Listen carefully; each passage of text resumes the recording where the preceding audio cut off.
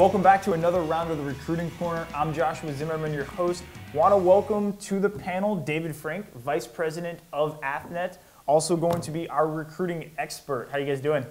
Hey guys, uh, Josh, awesome. Glad to be here on the Recruiting Corner. Welcome, Uh, welcome. Excited to get this thing going. Also, first time getting on video for the company, so everybody, take it easy. Don't don't judge me too harshly. We'll take it lightly on you today. Awesome. All right, guys, we're going to cover a couple of things happening in the NCAA. So, the NCAA has just wrapped up a board of directors meeting again just this past weekend, and uh, lots of big news coming out of there.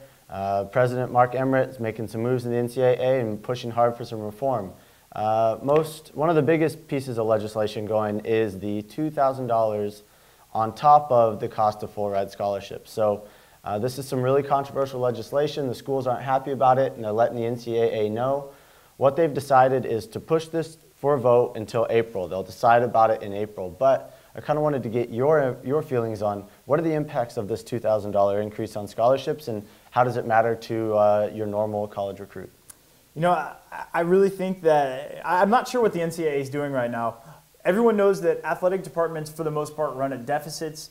And unfortunately, if you increase money, they've got to take it from somewhere else, which means that your lower tier sports are going to suffer. You're going to start seeing a lot of sports disappear from schools that just can't afford it so that they can pay to recruit uh, in that $2,000 mark. So you're going to see your top sports, your top athletes get the money, and you're going to see a lot of your smaller sports lose money. And it's, it's really unfortunate because there's a lot of opportunities out there that are going to go to waste.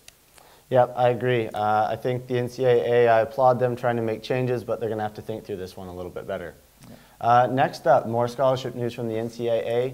Uh, they are going to vote in February for multi-year scholarships. That means athletes will be able to sign their scholarships for three, four, five years or their entire time of eligibility. So uh, this is big news, but again, it might be impacting the big money sports, but not necessarily your uh, equivalency sports. So Josh, again, explain how these multi-year scholarships are going to impact recruits. I think you just made a great point in the fact that it is going to affect your top sports, your top athletes. Maybe if you're a star football player, you're going to come in and they're going to want to ink you to a deal because most of the time you're already getting a full ride scholarship anyways. They're just going to go ahead and say, here's five years.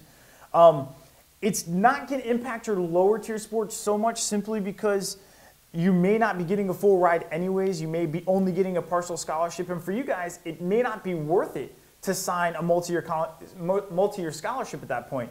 Think about if the fact you come in and you're only going to get $500 your first year. Well, it's only $500, but maybe you play really hard, you work really hard, and a full scholarship opens the next year or a much bigger percentage scholarship opens up the next year. If you sign that four-year $500 deal, you really hurt yourself. So I don't think the lower tier sports, again, are going to impacted that well, but I do see your football players, your basketball players and such, you know, inking to those deals quite often. Yeah, and I think another important factor, guys, is uh, it doesn't mean you could ignore having the conversation about what happens if I get injured. What are the academic expectations? Those are really important because the majority of you won't be signing multi-year scholarships. You'll be signing the one-year commitments, and you need to know what happens when you get injured.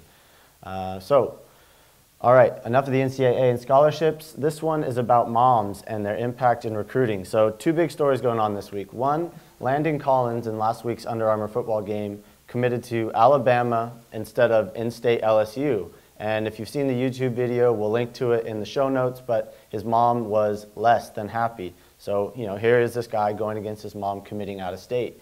The other side of the coin, Gunner Kiel, big number one quarterback prospect, had committed to LSU, decommitted from LSU, and is going back home because his mom wanted him closer to home to Notre Dame. So what's going on? What's your take?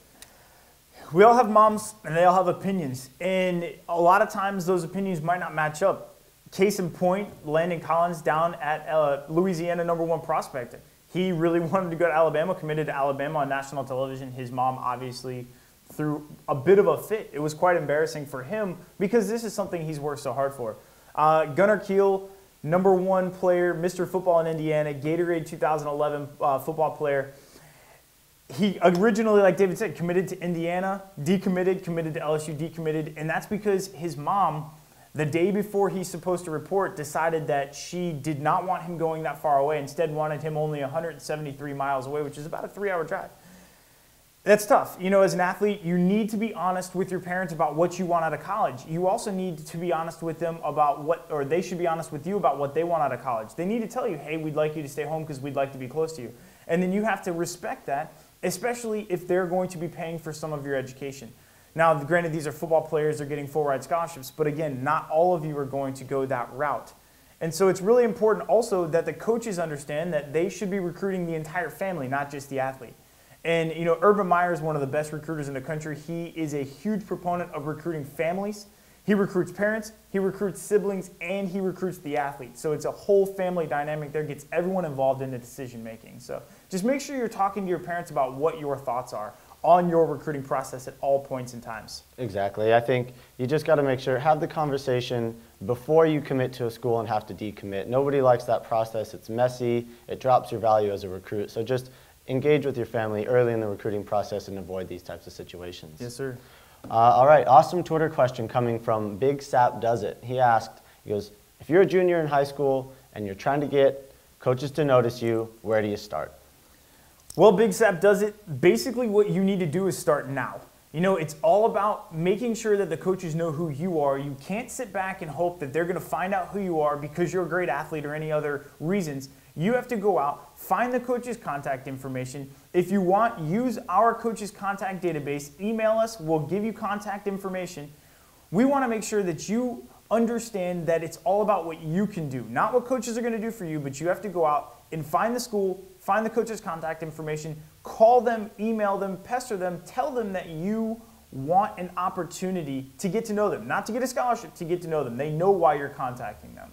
Yeah, that's true. It's really, really easy to start. Find the email, find the phone, contact the coach. Uh, all right, so that's pretty much going to wrap it up, guys. Uh, just want to get a sense. Big weekend here on the West Coast. 49ers fans, lots of them in the office, taking on the Giants for the NFC Championship. Uh, what are you going to be doing this weekend? I'm pretty sure I'm going to be doing just about the same thing that everybody in the Bay Area is going to be doing, and that's watching the 49ers play the Giants, hoping for a bit of a win on this side so uh, everyone can celebrate maybe a Super Bowl trip. Agreed. Same thing. I'll be at home watching the game, and uh, Alex Smith, one more week. That's all I need out of him. he has had one heck of a season. Guys, thanks so much for tuning in. Listen, if you want to contact us, you can. You know, our Facebook tag is just Athnet.